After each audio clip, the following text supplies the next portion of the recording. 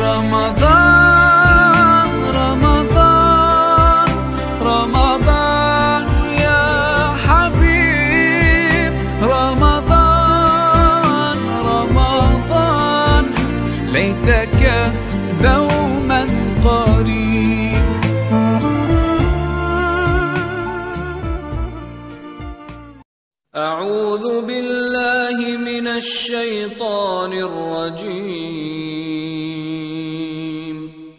بسم الله الرحمن الرحيم. وأطيعوا الله ورسوله ولا تنازعوا فتفشلوا وتذهب ريحكم واصبروا إن الله مع الصابرين.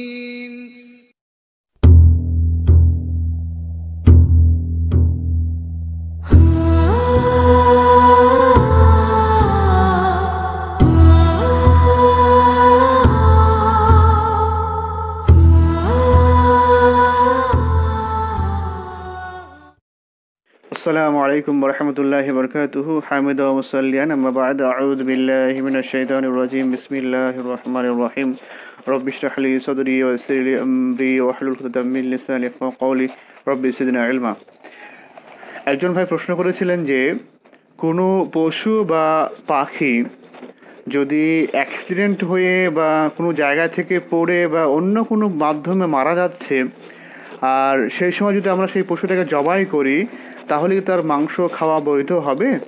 আলহামদুলিল্লাহ ভাই, খুব সুন্দর প্রশ্ন করেছেন। আপনার এই প্রশ্নের উত্তর আল্লাহ সুবাহান তালা তার পবিত্র গ্রন্থের পঞ্চম নম্বর সোরা সোরা মাইদার তিন নম্বর আয়তে বিস্তারিত বর্ণনা করেছেন। এবং এটা খুব সহজ করে জানার জন্য এবং আরও সহজ করে বোঝার জন্যে আপনি বিভিন্ন তাফসির গ্রন্থ দেখতে পারেন। যেরকমভাবে খুব অ্যাভেলেবল পাওয়া যাচ্ছে তাফসিরে আহসানুল বায়ান কিংবা তাফসির ইবনে কাসির এবং আরেকটা খুব সহজ তাফসির গ্রন্থ এসেছে, সেটা হচ্ছে তাফসিরে আবু বকর জাকারিয়া। আপনি এই তাফসিরগুলো দেখুন, ওখানে খুব সুন্দরভাবে এর ব্যাখ্যা দেওয়া আছে যে কোন কোন পশু কোন অবস্থায় খাওয়া বৈধ বা জায়জ। এখানে আল্লাহ রবুল্লা আলামিন কয়েকটা পশুর নাম উল্লেখ করেছেন এবং সেগুলোকে হারাম করেছেন এবং তার একটা হালাল উপায়ও বের করেছেন। আল্লাহ রবুল্লা আলামিন বলছেন যে, হরিমাত আলাইকুমুল মাইতাতু। তোমাদের জন্য হারাম করা হয়েছে মৃত পশুর মাংস। মৃত পশুর মাংস তোমাদের জন্য চিরতরেই হারাম। ওয়াদ্দামু এবং প্রবাহিত রক্ত আমাদের জন্য চিরতরে হারাম। ওলাহামুল খিনজির আর শুকুরের মাংস চিরতরে হারাম। অমা ওহিল্লাহ গাইরিল্লাহ বিহি। আর ওই পশু যেটা আল্লাহ বাদ দিয়ে অন্য কোনো দেবদেবীর নামে উৎসর্গ করা হয়েছে, অন্য কোনো দেবদেবীর নামে জবাই করা হয়েছে, সেটাও চিরতরে হারাম। তো এখানে এই চার শ্রেণির যে কথা বলা হয়েছে, এগুলো আপনি জবাই করুন আর না করুন, সর্বস্থায়ী হারাম।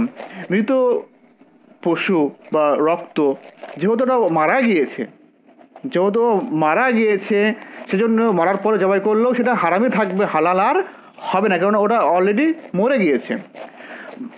তিন নম্বর, চার নম্বর যে কথা বলা হয়েছে, শুকুরের মাংস, এটা আপনি জবাই করুন না না করুন, সর্বস্থায়, এটা হারাম। চার নম্বর যেটা বলা হয়েছে যে অন্য আল্লাহ বাদ দিয়ে অন্য কোনো দেবদেবীর নামে উৎসর্গ করা হয় বা অন্য কোনো দেবদেবীর নামে যদি জবাই করা হয়, যদিও সেটা জবাই করা হয়, জবাই তো করা হয়েছে, কিন্তু যেহেতু ওটা বিসমিল্লা বা আল্লাহর নাম নিয়ে জবাই করা হয়নি, সেটা সেজন্য এটা চিরতরেই হারাম। তো এই চার শ্রেণির মানে পশুর মাংস চিরতরেই হারাম। এরপরে আল্লাহ রব্বুল আলামিন কয়েকটা পশুর অবস্থা উল্লেখ করে বলছেন যে, এমন পশু অলমুন খানি কাতু এমন পশু যেটা গলা চিপে মারা যাচ্ছে, অর্থাৎ হয়- কেউ গলা টিপে ধরেছে, অথবা সে পশুটা নিজেই কোনো জালে বা ফাঁসে আবদ্ধ হয়ে শ্বাসরদ্ধ হয়ে মারা যাচ্ছে। মারা যাচ্ছে, এখন মরেনি কিন্তু, মারা যাচ্ছে এমন পশু? অলমৌকু দাতু এমন পশু যাকে প্রহার করা হয়েছে, প্রচণ্ড তীব্রভাবে আঘাত করা হয়েছে লাঠি বা অন্য কিছু মানে বস্তু দিয়ে, যার মাধ্যমে ওই পশুটা মারা যাচ্ছে। তো প্রহার করে মারা যাচ্ছে এমন পশু। অলমুতারাত দিয়াতু ওপর থেকে নিচে পড়ে পড়ে গিয়েছে, পাহাড় থেকে হোক, ছাদ থেকে হোক, কিংবা কুয়াতে পড়ে মারা যাচ্ছে এমন পশু। ওয়ার ন্যাতি হাতু কোনো কিছুর নিচে এসে পড়েছে, অর্থাৎ বাস, ট্রেন, লরি, বাইক হতে পারে, বা অন্য কোনো পশু তাকে শিং শিং দিয়ে আঘাত করে মৃত্যুবরণ করছে। মানে কোনো পশু বা কোনো ব্যক্তি বা কেউ তাকে আঘাত করেছে বা তার কোনো বস্তু বা কোনো আহরণ কিংবা কোনো বড় পশুর পায়ের নিচে এসে এই অবস্থায় মৃত্যুবরণ করছে বা এইভাবে মৃত্যুবরণ করছে। ওমা আকারাসা বা ওমা আকালাসা অথবা কোনো হিংস্র পশু তাকে শিকার করেছে। যে বাঘ বা সিংহ কোনো হরিণকে বা কোনো ছাগলকে কিংবা কোনো গায়কে শিকার করেছে। তো এগুলো এই পাঁচ প্রকারের প্রাণী। এই পাঁচ প্রকারের প্রাণী যেটা গলা টিপে মারা যাচ্ছে বা ওপর থেকে পড়ে গিয়েছে বা লাঠিতে খুব বা অন্য কিছুতে বড় আঘাত লেগেছে বা কোনো কিছু গাড়ির বা কোনো কিছু নিচে এসে পড়ে, পড়েছে কিংবা কোনো হিংস্র পশু শিকার করেছে। তো এই পাঁচ প্রকারের প্রাণী বা পশু বা পাখি মানে এই অবস্থার কারণে মারা যাচ্ছে। এই অবস্থার কারণে মারা যাচ্ছে। যদি মরে যায় তাহলে হারাম। যদি মরে যায় তাহলে হারাম। আর যদি আমরা এই অবস্থায় পেয়ে গিয়ে, পেয়ে গিয়েছি যে ওর জান এখনও বাকি আছে, আর আমাদের জমাই করতে পেরেছি, তাহলে সেটা জায়জ হয়ে যাবে। আল্লাহ বলছেন যে, ইল্লা মা তুম কিন্তু যেটা তোমরা কিন্তু যেটাকে তোমরা জবাই করতে পেরেছ, কিন্তু তোমরা যেটাকে জবাই করতে পেরেছ, তো আমরা যদি মানে ওই এই নিচের পাঁচ শ্রেণির প্রাণী মানে শেষ নিঃশ্বাস ত্যাগ করার আগে যদি তাকে আমরা পেয়ে যাই, আর আমরা তাকে যখন জবাই করছি, তখন তার মধ্যে যান বাকি থাকে, আত্মা এখনও বাকি থাকে, তাহলে সেটাকে জায়েজ করা হয়েছে। আল্লাহ তালা বলছেন যে ইল্লাম একাইতম কিন্তু তোমরা যেটাকে জবাই করতে পেরেছ, সেটা ব্যতীত। সেটা ব্যতীত।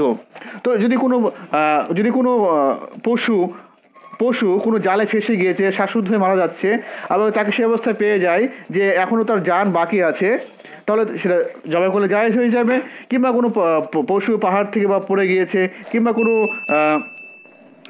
গাড়ির নিচে পড়ে গিয়েছে, ট্রেন, বাস বা লরি বা বাইকের নিচে পড়ে গিয়েছে, তো অ্যাক্সিডেন্ট হয়ে গিয়েছে, মারা যাচ্ছে, যদি আমরা যান বাকি থাকা অবস্থায় পেয়ে যাই, অর্থাৎ জবাই করতে পারি আল্লাহর নাম নিয়ে, তাহলে সেটা জায়েজ হয়ে যাবে।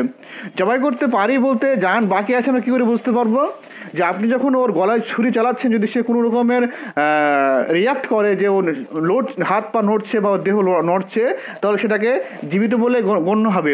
আর আপনি যে ছুরি মানে ভাবছেন যে জীবিত আছেন, ছুরি চালাচ্ছেন ওর গলাতে কিন্তু আসলে একবার নিথর হয়ে গেছে মানে ঠান্ডা হয়ে গেছে, ওর হাত পা বা হাত পা লড়ছে না, তাহলে সেটাকে মৃত বলেই গণ্য হবে। হ্যাঁ তো যখন আপনি ছুরি চালাচ্ছেন, তখন অবশ্যই ওর হাত পা মানে হাত পা বা ওর দেহে একটু নড়া মানে আপনি যে জীবিত আছেন, আছে যে পশুটা, বা আপনি জীবিত অবস্থায় যে জবাই করছেন, তার প্রমাণ আপনার কিছু পেতে হবে, লক্ষণ কিছু পেতে হবে, তবে সেটা জীবিত বলে গণ্য হবে। তবে সেটা জীবিত বলে গণ্য হবে। তো মোট কথা হচ্ছে যে, এমন পশু বা পাখি যেগুলি এইভাবে মৃত্যুবরণ করছি আর আপনি সেই অবস্থা যদি তাকে পেয়ে যান, আর মৃত্যুবরণ করার আগে যদি তাকে জবাই করতে পারেন আপনি আল্লাহর নাম নিয়ে বিসমিল্লাহ জবাই করতে পারেন, তাহলে সেটা জায়েজ হয়ে যাবে। তো এখন কোনো যদি রাস্তাঘাটে এখন সচরাচর হচ্ছে যে রাস্তাঘাটে মানে লরি, বাস বাস, ট্রেন বা বাইকের তলে অনেক মুরগি, ছাগল এসে যাচ্ছে মানে চাপা পড়ে যাচ্ছে, তো যদি সেই অবস্থা মানে চাপা পড়ে মানে মৃত্যুবরণ করছে আর কি, আর যদি আপনি তাকে মানে একদম শেষ নিঃশ্বাস বা মৃত্যুর আগে যদি আপনি তাকে পেয়ে যান, আর তাকে আপনি আপনি যদি তাকে জবাই করতে পেরে যান, তাহলে সেটা জায়েজ বলে গণ্য হবে। যেটা আল্লাহ তালা এখানে বলেছেন। হ্যাঁ আল্লাহ আলহ আলব আসসালামু আলাইকুম রহমতুল্লাহ বরকাত